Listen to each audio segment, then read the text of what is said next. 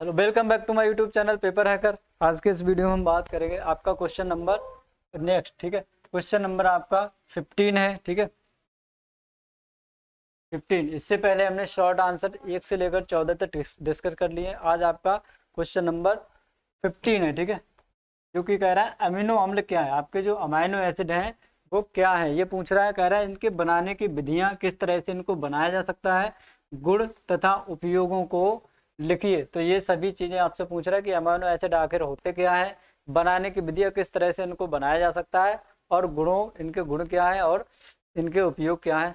तो ये सभी चीज़ें पढ़नी है, सभी को डिस्कस करेंगे।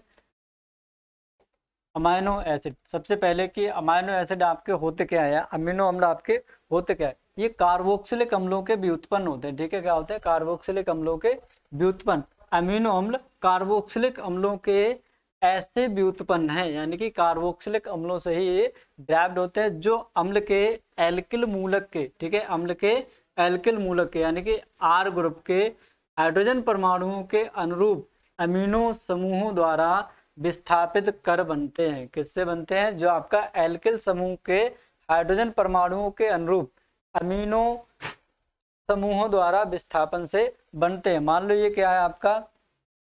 ये आपका क्या है? एल्किल ग्रुप है। क्या है आपका? एल्किल ग्रुप है, ठीक है? क्या है आपका? एल्किल ग्रुप है सी एस थ्री अब इसमें क्या होगा? सी एस थ्री का जो आपका हाइड्रोजन है, किसके विस्थापन से भी हाइड्रोजन परमाणु के अनुरूप अमीनो समूहों द्वारा विस्थापित हो जाएँगे। इसका ये जो सी एस थ्री है, मान लो क्या लिखा हुआ, कुछ इस तरह से एच और एच और एच ठीक है? अब क्या भाई, इसकी रिएक्शन एन एच टू यानी कि अमीनो अम्ल के द्वारा कर दोगे। एक हाइड्रोजन आपका निकल जाएगा और इसकी जगह पे आपका NH2 जो है आके लग जाएगा, ठीक है? तो ये क्या हो जाएगा? हाइड्रोजन परमाणु के अनुरूप अमीनो अम्लों द्वारा विस्थापित कर बनते हैं, ठीक है? जो एल्किल एल्किल समूह होता है, उसका एक हाइड्रोजन जो है अमीनो समूहों के द्वारा या अमीनो ग्रुप के द्वारा जो है ये क्या कर दिया जाता है? रिप्लेस कर दिया जाता है। हाइड्रोजन आइटम को और क्या बन जाता है? आपका एसिड बन जाता है, ठीक है? क्या? आपका अमीनो एसिड बन जाता है, ठीक है? तो ये हट जाएगा आपका हाइड्रोजन और NH2 जो है आपका यहाँ पर आके लग जाएगा, ठीक है? माइनस एच और प्लस एन एच टू। तो ये जो आपका होगा अमीनो एसिटिक एसिड, ठीक है? क्या हो जाएगा? Amino acetic acid. तो इस तरह से ये आपके क्या होते हैं? कार्बोक्सिलिक अम्लों के डेरिवेटिव होते हैं या व्युत्पन्न माने जाते हैं, ठीक है? अमीनो अम्ल, अल्फ़ा, बीटा, गामा इत्यादि कई प्रकार के होते हैं। अल्फ़ा अमीनो एसिड होता है आपका बीटा और गामा और आपका डेल्टा भी हो सकता है, ठीक है? तो अल्फ़ा अमीनो एसिड की अगर हम बात करें तो अल्फ़ा कार्बन मतलब कि आपका अल्फ़ा कार्बन होगा इसमें, ठीक है? अल्फ़ा कार्बन आपका वो कार्बन होता है कि किसी कार्बन से अगर आपका फंक्शनल ग्रुप लगा हुआ है, मान लो ये क्या आपका सी डब्ल्यू एच जो कि आपका है क्या है? फंक्शनल ग्रुप ठीक है? कार्बोक्सिलिक अम्ल इसके पड़ोस वाला कार्बन ठीक है? इसके पास वाला कार्बन आपका क्या कहलाएगा? अल्फ़ा कार्बन ठीक है? उससे दूर वाला कार्बन क्या कहलाएगा आपका? बीटा कार्बन उससे और दूर वाला कार्बन क्या कहलाएगा आपका? गामा ठीक है? और दूर वाला कार्बन क्या कहलाएगा आपका? डेल्टा ठीक है? तो ये जो आपके अमीनो एसिड है, ये आपके अल्फ़ा हो सकते हैं बीटा और गामा ठीक है? अल्फ़ा बीटा और गामा अमीनो एसिड ये कई प्रकार के हो सकते हैं। तो अल्फ़ा अमीनो एसिड इसमें क्या है आपका? ये कार्बन इस कार्बन से क्या लगा हुआ है आपका? सी एच टू यानी कि दूसरा कार्बन इसको अगर हम लिखें तो किस तरह से लिखेंगे? सी एच टू और इससे क्या लगा हुआ है आपका? सी डबल एच और इसी कार्बन से क्या लगा हुआ है आपका? एन एच टू क्या लगा हुआ है? एन एच टू तो ये क्या है आपका फंक्शनल ग्रुप इसके पड़ोस वाले कार्बन को कहेंगे एल्फा और उस कार्बन से लगा हुआ NH2 तो क्या हो जाएगा? अल्फ़ा अमाइनो एसिड हो जाएगा। क्या हो जाएगा? अल्फ़ा अमीनो एसिड हो जाएगा। इसकी अगर हम बात करें तो इसको हम किस तरह से लिखेंगे? इस पे क्या है भी ये कार्बन ये ये क्या हो जाएगा आपका फंक्शनल ग्रुप क्या है आपका? फंक्शनल ग्रुप ठीक है? और आपका एक सी एच टू लगा। इसी सी एच टू से आपका क्या लगा हुआ? है एन एच टू और सी एच टू यानी कि इसमें आपके क्या है? फंक्शनल ग्रुप के बाद में आपके दो कार्बन लगे हुए ठीक है? तो ये क्या हो जाएगा आपका अल्फ़ा कार्बन ये क्या हो जाएगा आपका बीटा कार्बन तो ये हो जाएगा बीटा अमाइनो एसिड हो जाएगा, ठीक है? नेक्स्ट अगर हम बात करें तो ये आपका क्या है? फंक्शनल ग्रुप है। क्या है? फंक्शनल ग्रुप ठीक है? ये पहला कार्बन दूसरा और तीसरा तो पहला कार्बन क्या होता है? आपका अल्फ़ा बीटा और आपका गामा तो ये हो जाएगा आपका गामा अमीनो अम्ल। इस तरह से आपके जो अमीनो अम्ल होते हैं, वो अल्फ़ा बीटा गामा इत्यादि प्रकार के हो सकते हैं। यहाँ पर हम बात कर रहे हैं अल्फ़ा बीटा गामा की चलिए आगे इसके पढ़ते हैं। तो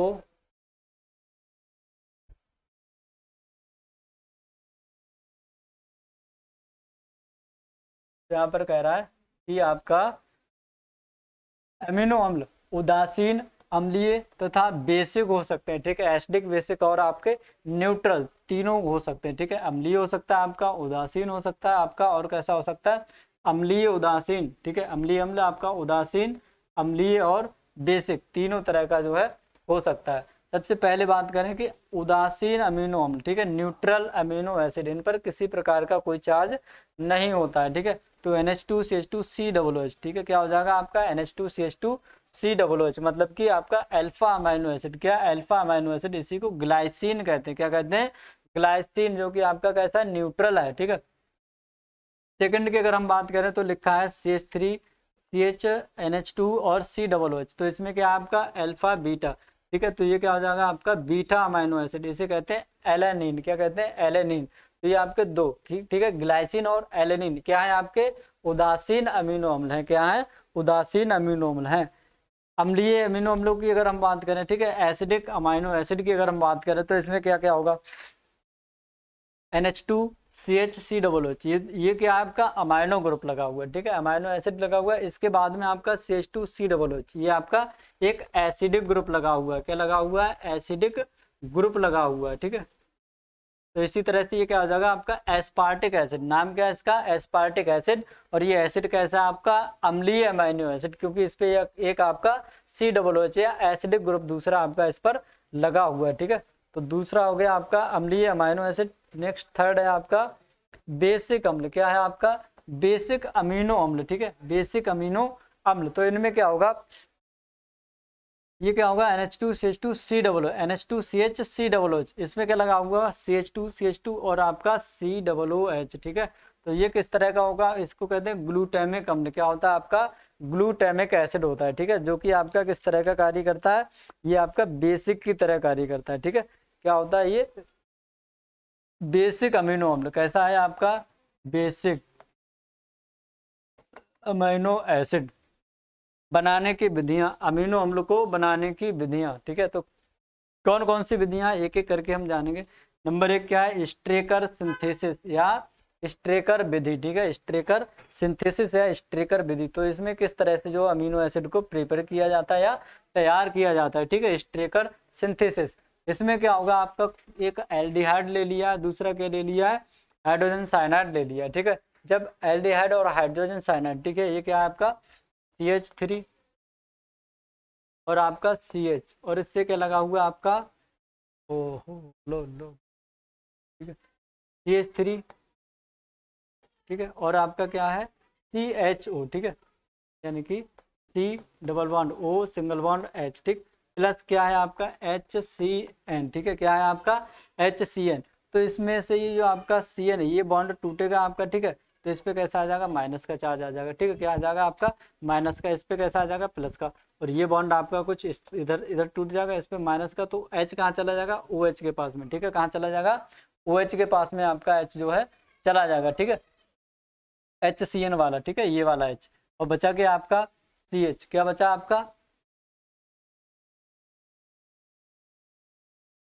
सी एन बच गया, ठीक है? सी एन क्या हो जाएगा? आपका दूसरे वाले कार्बन पे आके लग जाएगा, ठीक है?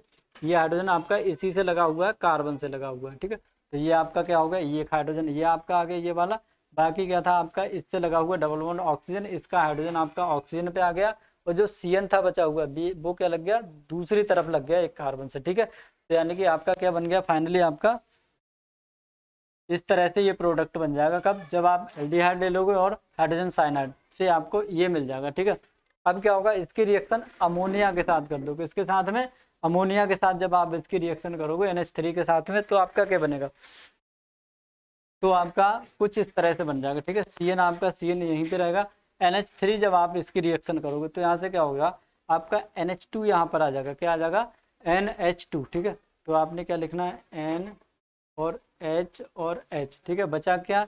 एक एच बच गया तो एक एच और ओ एच मिल के आपका एच टू यहाँ से क्या हो जाएगा? रिमूव हो जाएगा, ठीक? क्या हो जाएगा? रिमूव यहाँ पर क्या लग जाएगा? एन एच टू तो लग गया आपका एन एच टू कन्वर्ट हो गया ओ एच से और आपका सी एन रहा। अब इसका क्या करा दिया? जल अपघटन क्या करा दिया? हाइड्रोलिसिस करा दिया। हाइड्रोलिसिस कराने पर क्या होगा? जो आपका सी एन था, क्या था? सी एन था, ठीक है? सी एन का क्या हो जाएगा? सी डबल ओ एच किस तरह से हो जाएगा? मान लो ये आपका जो सी एन लिखा हुआ है, ये वाला, ठीक है? क्या लिखा हुआ है आपका? सी एन लिखा हुआ है, ठीक। चलो सी एन अब ये कुछ इस तरह से ब्रेक होगा। सी एन से क्या होगा? आपका एन एच थ्री बाहर निकल जाएगा। मतलब हमें दो मॉलिक्यूल लेने हैं जल के, ठीक है? टू एच टू लेना ठीक? तभी आपका क्या होगा? एक हमने एच ओ एच कर दिया, दूसरा हमने कर दिया एच ओ लेना। ओ और एच एच ठीक है? क्या कर दिया? सी एन था हमारा, ठीक है? दो मॉलिक्यूल ले लिए हमने जल के। एक क्या कर दिया हमने?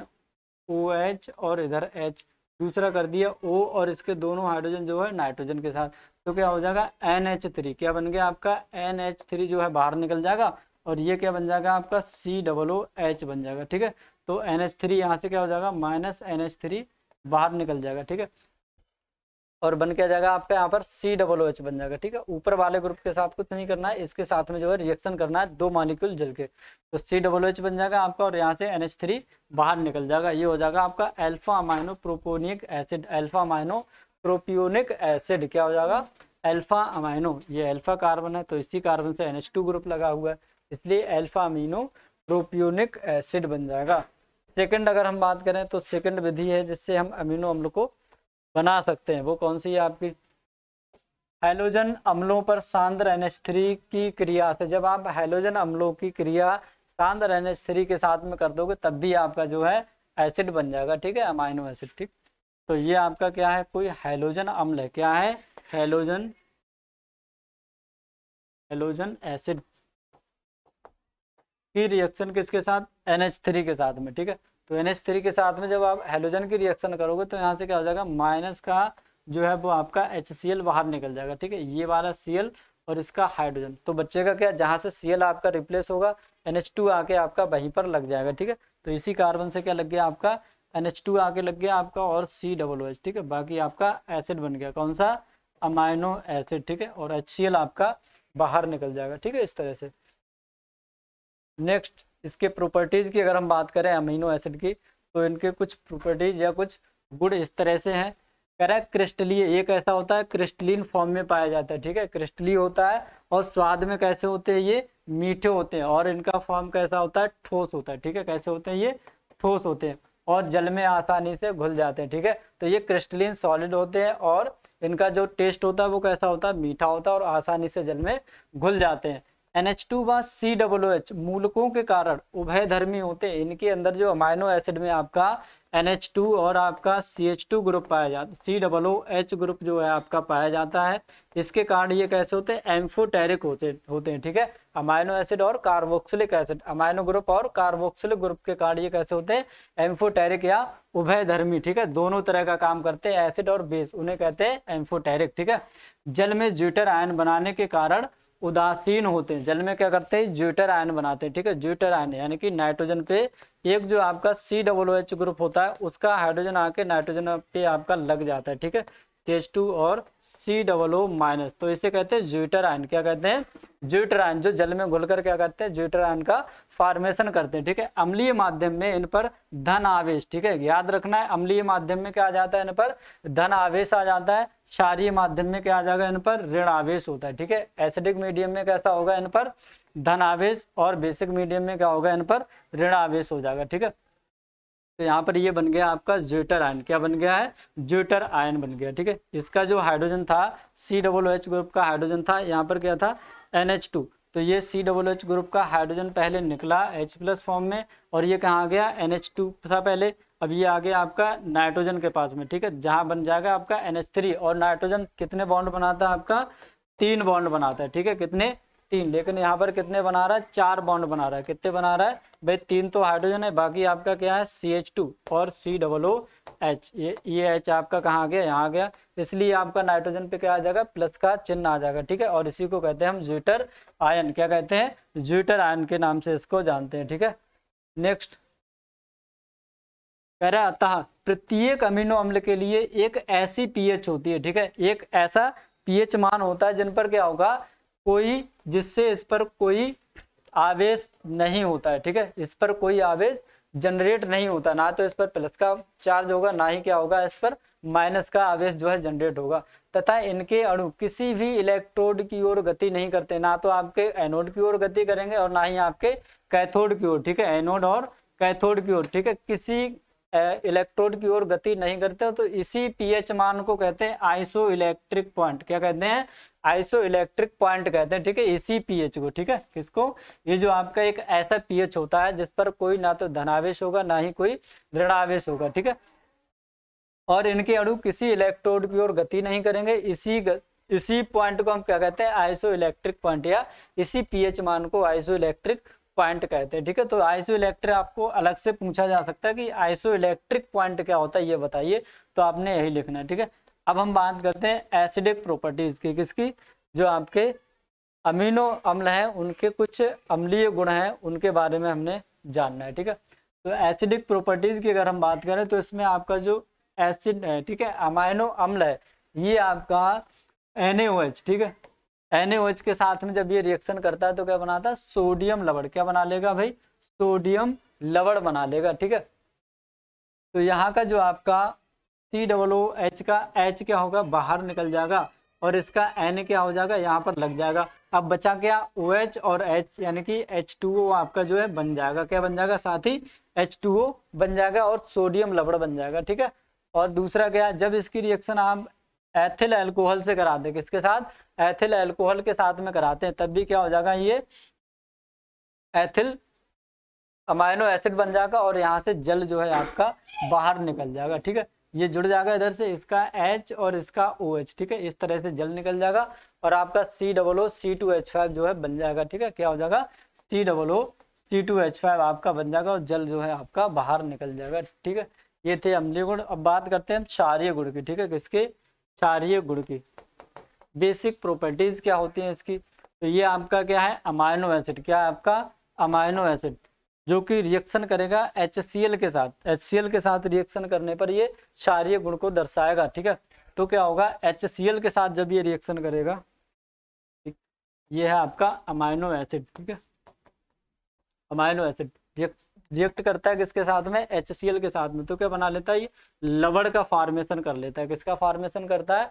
लवड़ का फॉर्मेशन मान लो ये क्या है आपका एच सी एल माइनस और एच प्लस ठीक है? तो सी एल माइनस आपका कहाँ पर आ जाएगा? जो आपका C double O H group है, उसके साथ में और एच आपका कहाँ जाएगा? नाइट्रोजन के साथ में, ठीक है? इस तरह से ये क्या करेगा? इस पर प्लस का चार्ज आ जाएगा और इस पर कैसा आ जाएगा? माइनस का। मीन्स क्या बना लेगा? एक ये साल्ट बना लेगा या लवड़ का फॉर्मेशन कर लेगा, ठीक है? जब ये एन एच ओ टू के साथ N H H N O two के साथ में रिएक्शन करेगा तो क्या होगा? अब ये एन एच टू के साथ में जब रिएक्शन करता है, मान लो, ये क्या है आपका? अमाइनो एसिड रिएक्शन किसके साथ में करेगा? NH2 के साथ में।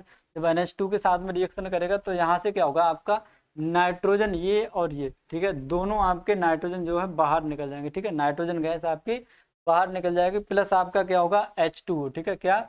एच टू ये जो आपका एच एन ओ टू लगा है, यहाँ से आपका हाइड्रोजन और एक हाइड्रोजन आपका यहाँ से, ठीक है? दो हाइड्रोजन और एक ऑक्सीजन आपका nitro H N O two से। तो एक आपका क्या निकल जाएगा? नाइट्रोजन प्लस आपका क्या निकलेगा? एच टू ओ निकलेगा, ठीक है? अब यहाँ से बच किया गया आपका ओ एच बचा हुआ है, ठीक है? ओ एच आपका बचा हुआ है तो ये ओ एच जाके आपका कहाँ लग जाएगा? सी एच टू के पास में लग जाएगा। कहाँ लग जाएगा? आपका सी एच टू के पास में, ठीक है? बाकी ये आपका चला गया नाइट्रोजन और एच टू और एक एक ऑक्सीजन यहाँ से तो क्या बन गया आपका एच टू ओ नाइट्रोजन तो ये ग्रुप आपका निकल गया किसके साथ में? ऑक्सीजन के साथ में इसके, ठीक है? अब बच गया गया आपका, ये हाइड्रोक्सी ग्रुप लग गया आपका अमाइनो एसिड पे, ठीक है? अमाइनो एसिड पे अमाइन ग्रुप की जगह पे क्या लग गया आपका? हाइड्रो ग्रुप हाइड्रोक्सी ग्रुप लग गया। तो नाम क्या हो जाएगा? हाइड्रोक्सी एसिडिक अम्ल क्या हो जाएगा भाई? हाइड्रोक्सी एसिडिक अम्ल तो इस तरह से हम अमीनो अम्लों को जो है बना सकते हैं, ठीक है? अमीनो अम्लों को बना सकते हैं, उनके गुण भी देखते, देखे थे, और उनको बनाने की विधियाँ भी हमने जानी थी, और अमीनो एसिड होते क्या हैं, वो भी हमने पढ़ा था। उम्मीद करते हैं समझ में आया होगा। मिलते हैं अगले वीडियो में। बने रहिए हमारे साथ। Thanks for watching and share the